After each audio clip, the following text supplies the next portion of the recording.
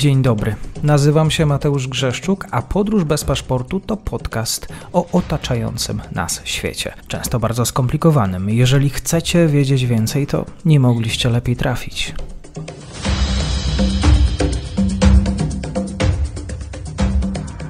Dzień dobry Państwu, dzień dobry wszystkim słuchaczom. Dzisiaj rozmawiamy oczywiście o Bliskim Wschodzie, o Izraelu. Dzisiaj wątki historyczne i prawne. Za mną jest e, dr Mateusz Piątkowski z Uniwersytetu Łódzkiego. Kłaniam się. Dzień dobry panie redaktorze, dzień dobry Państwu. Zachęcam Państwa do subskrypcji, do obserwowania podcastu Lachowski i Piątkowski o prawie międzynarodowym. Linki będą do programu w opisie. Zachęcam również do obserwowania Twittera, jeżeli korzystają Państwo z tego narzędzia. E, właśnie tam e, więcej wątków e, od doktora Piątkowskiego, z którym będę dzisiaj rozmawiał o powstaniu właściwie państwa Izrael w latach 48-73. Po II wojnie światowej utworzenie Izraela chyba zapoczątkowało serię epokę konfliktów. Tak jest. Y, tu trzeba zwrócić uwagę, że tak naprawdę, y, jeżeli byśmy patrzyli na początek w ogóle tworzenia niepodległego państwa izraelskiego, to musimy sięgnąć do czasów I wojny światowej, e, kiedy alianci zachodni e, szukali nowych sojuszników. E, z jednym z takich sojuszników był ten światowy ruch żydowski, a drugim ewentualnie ruch arabski. Chodziło o zadanie ciosu Imperium Osmańskiemu i w związku z tym pojawiła się kwestia właśnie Palestyny, statusu Palestyny. E, I takim pierwszym momentem, gdzie ta sprawa powstania państwa izraelskiego się zaczyna podmiotować, to jest tak zwana e, deklaracja Balfura z 1917 roku, która e, głosi, że rząd jego królewskiej mości przychylnie patrzy na stworzenie takiego domu dla izraelskiego narodu. Tam pojawia się takie zdanie, które nie do końca jest jasne, co znaczyło w kontekście prawa międzynarodowego. Czy to było utworzenie, już zapowiedź utworzenia państwa, czy chodziło bardziej o jakiś taki pewną administrację e, e, żydowską e, w tym, w tym obszarze. Oczywiście trzeba o tym pamiętać, że alianci zachodni także mieli porozumienia z przywódcami państw arabskich, to znaczy jeszcze nie państw arabskich, ale struktur arabskich, które znajdowały się w granicach ówczesnego Imperium Osmańskiego i tam też się pojawiały pewne obietnice. No i dzisiaj, do dzisiaj jest pewien spór, czy te obietnice dotyczyły Palestyny, czy też Palestyna była z nich wyłączona. Był także układ Sykes-Picot z 1916 roku pomiędzy Francją i Wielką Brytanią, który dzielił Bliski Wschód i w sumie podzielił go w granicach mniej więcej podobnych do dnia dzisiejszego. I e, też wiemy o tym doskonale, że te podziały, które były wykonywane przez te wielkie mocarstwa, no one nigdy nie korespondowały z granicami etnograficznymi, językowymi, etnicznymi. Bardziej chodziło o interesy tych państw. I to też jest e, oczywiście ten, ten układ z 1916 roku. To w ogóle jest taki chyba wstęp do wszystkich kryzysów mhm. na Bliskim Wschodzie, nie tylko do kryzysu palestyńskiego. E, kiedy kończy się pierwsza wojna światowa, alianci ją wygrywają, rozpada się Imperium Osmańskie, Palestyna staje się tak zwanym terytorium mandatowym. E, Liga Narodów dzieliła obszary należące do dawnych pokonanych mocarstw centralnych, przede wszystkim Niemiec i Imperium Osmańskiego, na tak zwane mandaty i były różne klasy tych mandatów. ABC, Palestyna została zaliczona mandatu A, w ramach którego miała szybko uzyskać niepodległość. Mandaty polegały na tym, że było państwo, które było takim powiernikiem, takim zarządcą tego e, obszaru. Ono miało obowiązek administrowania i przygotowywania lokalnej społeczności do uzyskania niepodległości. Pozostałe kategorie były jeszcze nie gotowe, ale właśnie Palestyna była przewidziana do szybkiego uzyskania niepodległości. I mm, później jeszcze powstaje e, połączenie Palestyny z Transjordanią, bo mm, e, dochodzi do takiego wspólnego zarządu nad tymi prowincjami. I mniej więcej do okresu II wojny światowej w tym obszarze panuje względny spokój. Oczywiście jest napływ osadnictwa e, żydowskiego, ale ten spór zaczyna narastać pod koniec lat, pod koniec właściwie II wojny światowej, kiedy Wielka Brytania już po zakończeniu tego konfliktu oświadcza mm, w latach 45-47, że nie będzie dalej administrowała mandatem Palestyny. E, w międzyczasie Zgromadzenie Ogólne ONZ przyjmuje taką rezolucję o ustanowieniu dwóch państw, państwa arabskiego i żydowskiego, ze specjalnym statusem Jerozolimy, e, jako takim administrowanym międzynarodowo. E, natomiast to porozumienie jest odrzucone, strona arabska rozpoczyna działania wojenne, wybucha wojna. Oczywiście w międzyczasie mamy deklarację niepodległości Izraela, który powołuje się właśnie na ten dokument z 1917 roku i 1948 roku w 1948 roku ogłasza swoją niepodległość, powołując się także tutaj na rezolucję Zgromadzenia e, Ogólnego ONZ. E, rozpoczyna się konflikt. E, ten konflikt w pewnym momencie zostaje nieco wygaszony, ale kolejnym takim punktem zwrotnym jest 1967 rok i wojna sześciodniowa, czyli ta spektakularne zwycięstwo Izraela. Izrael wtedy opanowywuje całość właściwie tego, co nazywamy dzisiaj terytoriami okupowanymi, bo warto zwrócić uwagę, że początkowo w 1948 roku, pamiętajmy, tam część obszarów, strefa gazy była zajęta przez Egipt, a tak zwany zachodni brzeg przez Jordanię. Po 1967 roku zarówno strefa gazy, jak i właśnie ten zachodni brzeg Jordanu jest, został zajęty przez Izrael. I co, co na to e, społeczność międzynarodowa? Społeczność międzynarodowa wzywa Izrael do opuszczenia tych obszarów i jednocześnie wskazuje, że no, jakiekolwiek rozwiązania pokojowe w tej mierze powinny uwzględniać e, integralność terytorialną, niepodległość i, i suwerenność każdego z państw, w tym także Izraela. Dalej oczywiście to porozumienie, to, to, to postanowienie Rady Bezpieczeństwa, które zresztą te, ta rezolucja 262 jest tak naprawdę jej język do dnia dzisiejszego wywołuje bardzo wiele kontrowersji, ale to jest tak naprawdę taki, e, taki, taki możemy powiedzieć fundament procesu pokojowego, jeżeli mówimy o proces izraelsko-palestyński. Lata 70. to jest powstanie OWP, Yasser Arafat, walka, także trzeba powiedzieć wprost, aktami terroru o sprawę palestyńską. E, ale w pewnym momencie Arafat podejmuje taki zwrot. E, uważa, że należy zaprzestać aktów terroru e, na rzecz, do, na rzecz dążenia do pewnego upodmiotowienia sprawy izraelskiej, sprawy palestyńskiej. Oczywiście Palestyńczycy jeszcze w tamtym czasie kwestionują w ogóle istnienie państwa izraelskiego jako takiego ale Arafat decyduje się na, na zmianę tutaj narracji i ta zmiana narracji powoduje, że stopniowo ta Organizacja Wyzwolenia Palestyny staje się reprezentantem interesów palestyńskich. I w sumie ja bym powiedział, że tak prawno-międzynarodowo to status OWP E, jest podobny, no dzisiaj to się już nazywa Palestyna, ale jest podobny do trochę Polskiego Komitetu Narodowego w czasie I wojny światowej, który działał w Paryżu. Czyli e, OWP e, jest oficjalnym reprezentantem aspiracji narodu palestyńskiego do utworzenia niepodległego państwa. Później ta sprawa zaczyna się rozwijać.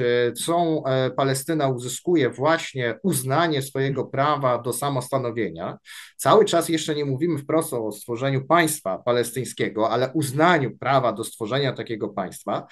E, no i, e, ale w międzyczasie oczywiście trwa ta sytuacja faktyczna, trwa ten stan okupacji. Izrael nie wycofuje się z tych terytoriów. Końcówka lat 90. to słynny proces pokojowy zakończony procesami, zakończony tak zwanymi instrumentami z Oslo, w wyniku którego tworzy się autonomia palestyńska i obecnie teraz Palestyna to dość skomplikowany twór, ponieważ z jednej strony on się posługuje e, tworem e, jest, posługuje się nazwą Palestyna w tej narracji zewnętrznej. Z drugiej strony mamy jeszcze autonomię palestyńską, która jest pewnym bytem terytorialnym, o różnym stopniu takiego mm, samozarządzania. To nie jest w pełni wykształcone państwo, to znaczy, oczywiście są tutaj różne kontrowersje, są różnego rodzaju głosy, ale ach, wydaje się, że taki dość silny argument ze strony prawa międzynarodowego jest taki, że mm, zresztą Polska również ma takie stanowisko, że powszechnie uznaje się prawo Palestyńczyków do posiadania własnego państwa, ale Palestyna jeszcze jest takim tworem w trakcie tworzenia, to się mówi instatu nastendi. I na tej podstawie, na podstawie tego, że jednak mamy tą sprawę Palestyny w jakiś sposób upodmiotowioną, e, Palestyna przystąpiła do umów międzynarodowych, Palestyna ma reprezentację dyplomatyczną, na przykład w Polsce działa reprezentacja dyplomatyczna Palestyny, no i stąd też jakby jest, e, jest ta Palestyna obecna w tej narracji międzynarodowej, chociaż jej status nie jest jeszcze do końca ukształtowany. Zwłaszcza jeżeli mówimy o autonomii, ponieważ autonomia jest traktowana de jure w świetle prawa międzynarodowego jako mm, cały czas obszar okupowany. Izrael trochę kontestuje to, że to jest terytorium okupowane, bo twierdzi, że nigdy tak naprawdę nie było ono, nie należało ono do żadnego suwerena po upadku Imperium Osmańskiego, ale jednak Międzynarodowy Trybunał Sprawiedliwości w 2004 roku stwierdził, że to są obszary okupowane, na których Izrael ma obowiązek stosować przepisy międzynarodowego prawa humanitarnego w takim samym kształcie jak Rosja jest zobowiązana do respektowania konwencji czwartej genewskiej na okupowanych terytoriach Ukrainy.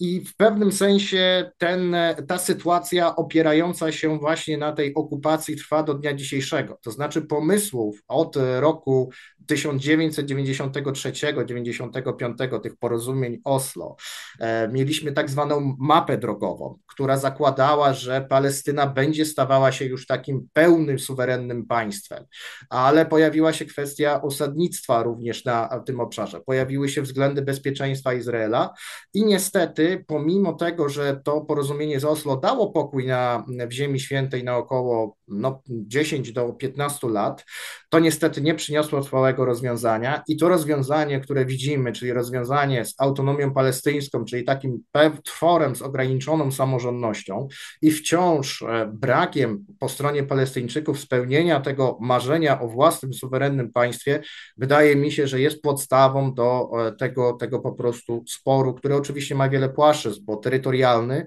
e, sporu demograficznego także. No i w tej mierze tutaj widzimy te działania. Ja oczywiście chciałbym podkreślić, że Hamas to nie jest e, autonomia palestyńska, to jest pewna grupa, która jest po prostu grupą ekstremistyczną, więc tu też należy oddzielać działania autonomii od samego, czy Palestyny, od samego Hamasu, też to trzeba o tym pamiętać. Mhm. Myślę, że tak, kilka wątków ciekawych to jest fakt, że jednak e, Jordania na przykład staje się powoli państwem palestyńskim. Tam jest dużo Palestyńczyków e, pod zwierzchnictwem oczywiście króla. Druga kwestia to niezdolność też do brak perspektyw, propozycji ze strony e, instytucji międzynarodowych tak, dla rozwiązania tego konfliktu. Mieliśmy Donalda Trumpa, który jakoś w jakiś sposób chciał e, normalizować e, te problemy. W dodatku też ta inicjatywa, rozmowy abrahamowe, tak o ile dobrze pamiętam, i frustracja Palestyńczyków właśnie w strefie gazy. Autonomia palestyńska też, która nie potrafiła przeprowadzić ostatnio wyborów, to jest, y, pamiętajmy, że y, jak najbardziej ta kwestia reakcji społeczności międzynarodowej, co może zrobić społeczność międzynarodowa. Społeczność międzynarodowa opiera się tutaj na rezolucji e, tej, o której wspomniałem z 1967 roku i teraz są dwa różne podejścia do jednego, powiedzmy, jednego dokumentu. Jedno podejście, które stanowi, w pewnym sensie izraelskie, które stanowi tak, najpierw kompleksowe rozwiązanie pokojowe, a później odwrót z okupowanych terytoriów, albo rozwiązanie palestyńskie, najpierw odwrót z okupowanych terytoriów, a dopiero później kompleksowe rozwiązanie pokojowe. No i oczywiście, jak pan redaktor doskonale wie, wchodzi tutaj w grę wielka e, geopolityka. Także tutaj na forum, jeżeli popatrzymy sobie na ilość wet w Radzie Bezpieczeństwa, to Stany Zjednoczone gonią Rosję w tej pewnej niechlubnej statystyce, zawsze jeżeli na, na karcie pojawia się jakiś e, problem związany właśnie ze statusem Izraela, czy też e, Bliskiego Wschodu, chociaż trzeba jednak zwrócić uwagę, że Rada Bezpieczeństwa na przykład jest dość zgodna co do statusu Jerozolimy. E, Jerozolima też jest podzielona i na przykład kiedy w 80 roku Kneset anektował właściwie Jerozolimę do Izraela, czyniąc stolicą tego państwa, e, stąd też Jerozolima no, jest taką jakby kontrowersyjną stolicą, z tego względu, że Rada Bezpieczeństwa ONZ potępiła ten krok i stwierdziła, że żadne państwo członkowskie e, Organizacji Narodów Zjednoczonych nie może uznać skutków aneksji Jerozolimy. I w związku z tym na przykład, dlatego też misje dyplomatyczne większości państw są zlokalizowane w Tel Awiwie, a nie w Jerozolimie.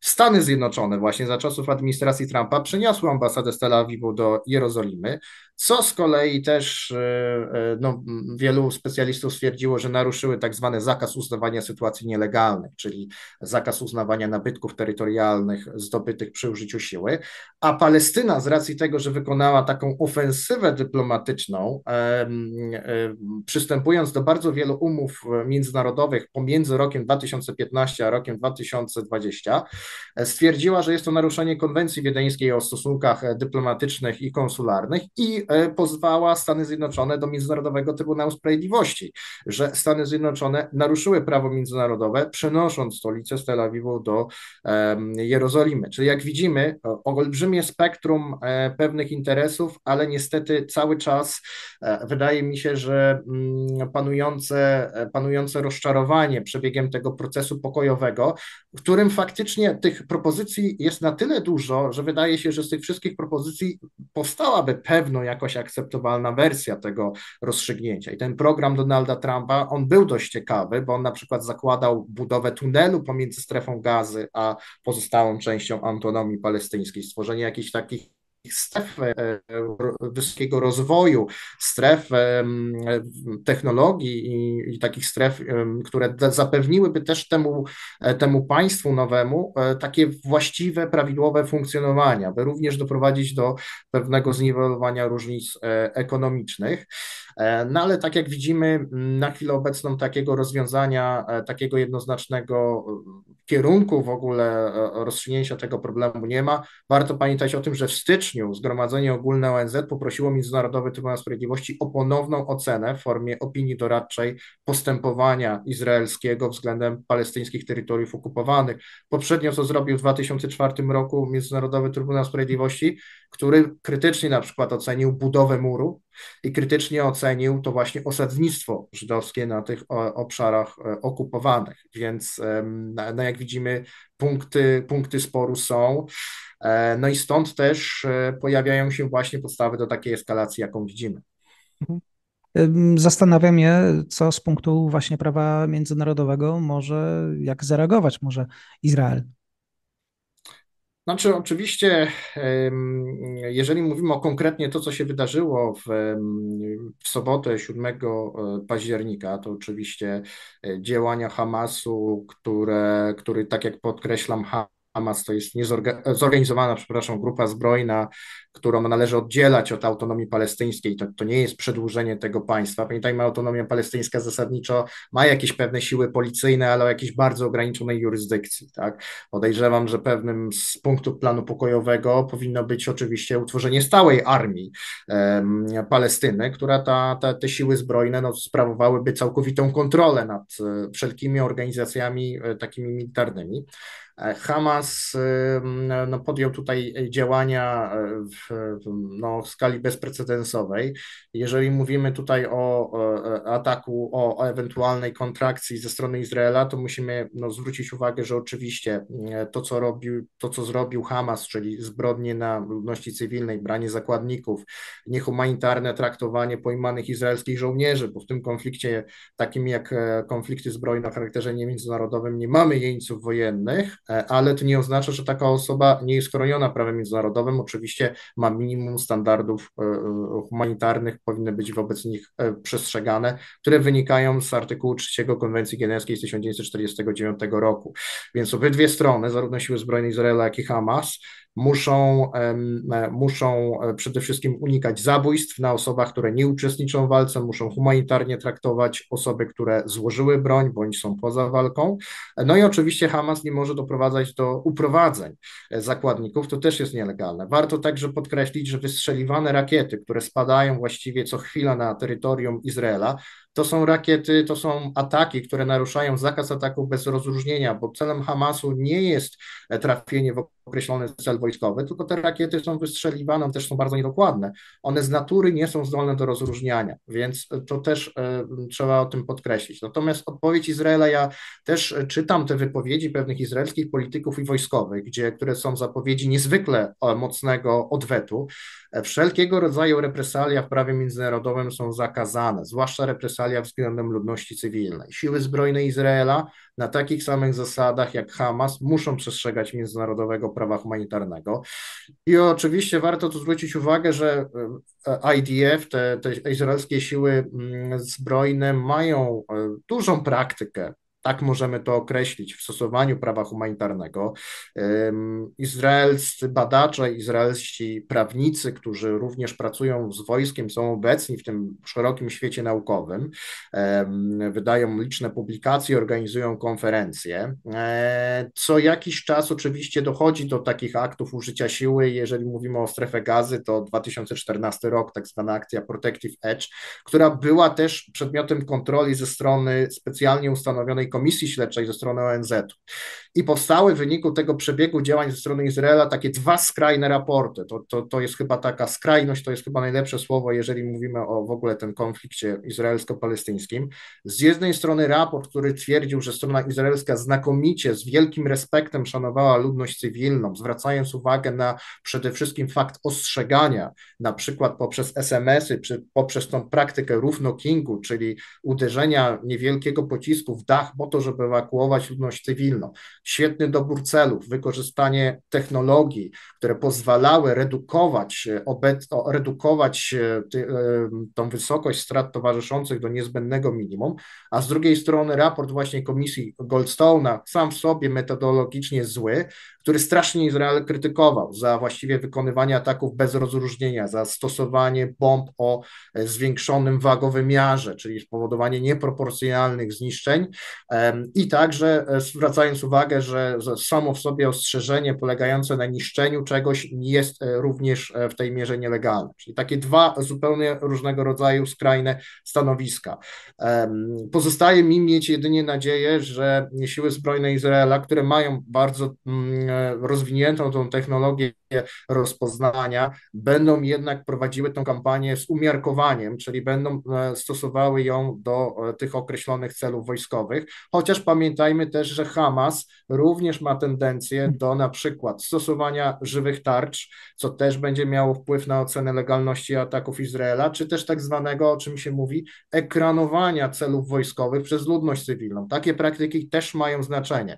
I to, co też e, no, powtarzam w pewnym zakresie, nie powinno się zasadniczo z perspektywy prawnej oceniać żadnego ataku tylko wyłącznie po jego skutkach, bo często my nie znamy do końca całego spektrum um, okoliczności, które towarzyszyły decyzji o podjęciu tego ataku i zwłaszcza jeżeli przeciwnik potrafi stosować tego typu taktyki, jak mówimy, jak Hamas, e, bo takie sytuacje znamy przecież z przeszłości. E, więc mam nadzieję, że pomimo tego, że e, jest nawoływanie z różnych względów do bardzo silnego odwetu, akcji odwetowej, że jest zwrócenie uwagi, że będzie to odwet za zbrodnię Hamasu, to jednak odwet w prawie międzynarodowym w tym momencie jest już czymś zakazanym e, i no, pozostaje mieć nadzieję, że jednak strony będą stosowały międzynarodowe prawo humanitarne, bo tak jak zawsze powtarzam, nie opłaca się go nie przestrzegać. To koniec końców gdzieś się odbija w płaszczyźnie politycznej, operacyjnej, więc pozostaje mi tylko, e, tylko żywić taką nadzieję, że strony będą działały zgodnie z prawem międzynarodowym.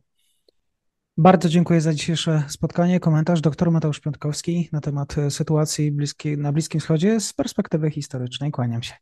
Dziękuję bardzo.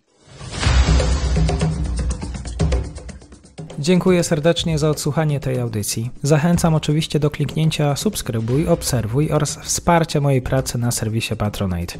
Do usłyszenia.